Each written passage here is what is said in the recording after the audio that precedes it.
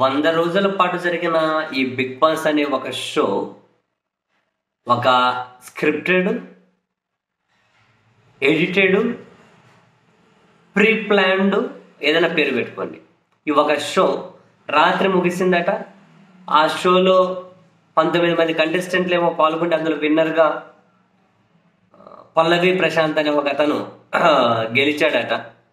సరే రాత్రి నాగార్జున ప్రకటించాడట. ఇదంతా ఒక ఎత్తు. అయితే విన్నరు రన్నరప్ అనేది టాప్ టూ వరకు వస్తారంట. ఆ రన్నరప్గా నిలిచిన అమర్దీప్ సారీ పేరు అదే అనుకుంటా అమర్దీప్. అయితే షో ముగించుకొని అన్నపూర్ణ స్టూడియో నుంచి బయటకు వస్తూ ఉన్నప్పుడు బాబోయ్ ఆయన కారులో ఆయన వాళ్ళ భార్యగా వాళ్ళ తల్లి గారు ఉన్నారట.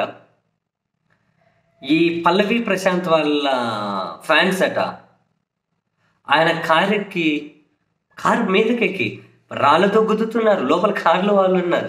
కార్ల రాళ్ళతో గుద్దుతున్నారు. కట్టెలు తీసుకొని కార్లు కొడుతూ ఉన్నారు. కట్టెలు తీసుకొని కార్లు కొడుతూ ఉన్నారు.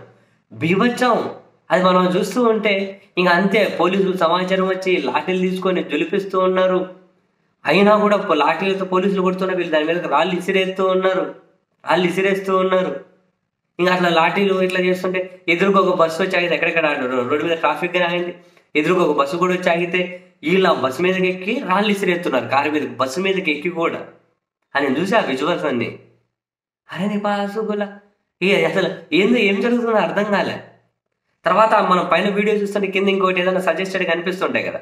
ఆడ ఇంకో తమ్మనేలు కనిపిస్తుంది. అమర్దీప్ మీద దాడి చేసిన తర్వాతే మేము ఈరోజు ఇంటికి వెళ్తాము అని. ఏదో అది నొక్కిన. వాళ్ళు ఎవరో మాట్లాడుతున్నారు ఒక యూట్యూబ్ ఛానల్ తోటి. పల్లవి ప్రశాంత. పల్లవి ప్రశాంత్ అంట. ఆయన ఫ్యాన్స్ అట వీళ్ళు. మరి ఆయన కాంపిటేటర్ అంట ఎవరు? అమర్దీప్. వీళ్ళిద్దరి మధ్య ఒక కాంపిటీషన్? ఏమో. వా ఆయన మరి ఏం జరిగిందో నాకు తెలియదు కానీ ఆయనను కొట్టిన తర్వాత మేము వెళ్తాం అన్నపూర్ణ స్టూడియో నుంచి. అంతకుముందు నాలుగైదు గంటల ముందే వాళ్ళు చెబుతున్నారు మేము కొట్టే వెళ్తామని. అని అనుకున్నట్లే పోయారు అందరూ అక్కడ పోయినరు. దాడి చేసి అల్ రచ్చ రచ్చ చూసిన తర్వాత నిజంగా అప్పుడు అప్పుడు అనిపించింది. నేను ఎప్పుడు చాలా మందితో నా చుట్టూ ఉన్న వాళ్ళతో చెబుతూ ఉంటాను మనం ఎంత చెప్పినా ఏం చేసినా అట్లీస్ట్ మనల్ని మనం చైతన్యవంతులుగా ఉంచుకోవడం కోసం. వెయ్యి మందిలో కాదు లక్ష మందిలో ఒక్కరైనా ఒక మంచి ఆలోచనలు ఏర్పరచుకున్న. వందేళ్ళ కాకుండా వెయ్యేళ్ళకైనా కనుక భారతదేశం చైతన్యవంతం అవుతుందేమో అని చెప్పి ఒక చిన్న ఆశతోటి మనలాంటి వాళ్ళ మీద రకరకాల రూపంలో రకరకాల ఏమంటారు వాయిస్ వినిపిస్తూ ఉంటాం కానీ ఇటువంటి ఈ ఈ దేడిది మా గల్లను ఏం చిచ్చోరగలరా బాయ్. ఏదో ఒక షో అట. ఆ షోలో ఏదో జరిగిందని ఏదో ఆ షో ఎవరో విన్నరు రన్నర్ మధ్య ఒక అని చెప్పి ఆ రన్నర్ అప్ మీద కాంపిటీషన్కి వచ్చాడని. కారెక్కి ఆ స్థాయిలో హింసకు పాల్పడుతున్నారు అంటే ఇలాంటి యువత ఇలాంటి ఇలాంటి మనుషుల చేతిలో సమాజం భద్రమంట.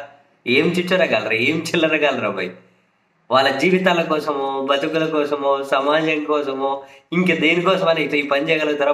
పొట్టకోసికం చేయరు. అసలు చేయరు. మనం మనం ఒకటే గుర్తుపెట్టుకోవాలి. ఇట్లాంటి చిల్లరగాళ్ళని చూసిన ప్రతిసారి మెజారిటీ ఇలాంటి చిచ్చోర చిల్లరగాళ్ళే ఉన్నారు. ఇలాంటి చిల్లరగాళ్ళ చేతిలో ఏదో మనం గర్వంగా చెప్పుకోవడం కోసం మా దేశం గర్వంగా చెప్పుకోవడం కోసం పనికొస్తుంది కానీ ఇటువంటి చిచ్చోర చిల్లరగాళ్ళు నువ్వు నువ్వు ఈ ఒక ఎపిసోడ్ ఇదని కాదు. ఇప్పుడు ఏదో ఇది ఒక ఎపిసోడ్ నెక్స్ట్ ఇంకో ఎపిసోడ్ చూడండి ఇంకో ఎపిసోడ్ చూడండి. ఒక ఈ ప్రోగ్రామ్ రిలేటెడ్ అంటలేను ఏదైనా కార్యక్రమం కావచ్చు. ఎన్నికలు కావచ్చు లేకుంటే ఇటాంటి కావచ్చు లేకుంటే ఇంకా సినిమాలు కావచ్చు ఇంకేదైనా ఈవెంట్లు కావచ్చు. ఏడైనా చూడండి. రకరకాల చిల్లరగాలు కనిపిస్తూ ఉంటుంది. ఇటువంటి ఇటువంటి చిల్లరగాళ్ళ మధ్య అంత కంఫర్ట్నెస్ను సమాజం నుంచి మనం కోరుకోలేము. ఉన్నంతలో మనమే జాగ్రత్తగా ఉండాలి.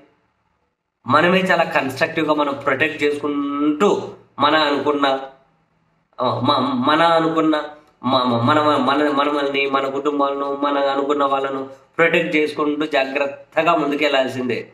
ఈ చిల్లరైన వాళ్ళు వాళ్ళ బతుకులు నాశనం అయిపోయినా ఇట్లా రోడ్ల మీదకి వచ్చి హింసగా పాల్పడరు జీవితం నాశనం అయిపోయినా నీ జీవితం పక్కన చూసిన ఏమై పట్టించుకొని కూడా పట్టించుకోరు. మనం చూస్తూ ఉంటాం దగ్గర దగ్గర యాక్సిడెంట్ దగ్గర దగ్గర గొడవ జరిగినా ఇంకేదైనా జరుగుతున్నా పక్కన పోతూనే ఉంటారు అంతే. ఇట్లాంటి చిల్లరగా చిచ్చోరగా ఎదవలు అయితే ఇట్లాంటి దగ్గర అయితే వచ్చి నానా హంగామా చేస్తున్నారు. ఏ ముద్రష్టపు కొడుకులు రా బాబు నిజంగా. ఆ హింస ఏంట్రా? తీసుకొచ్చి ఆ జైలు వేసి కొడుకులు వీళ్ళ మీద హత్యాయత్నం కేసులు పెట్టాలి పోలీసులు. హత్యాయత్నం కేసులు.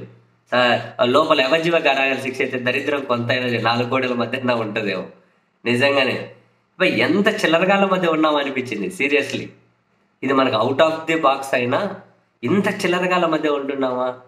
ఇంత దేడిది మగ్గాల మధ్య ఉంటున్నావా? తు అనిపించింది.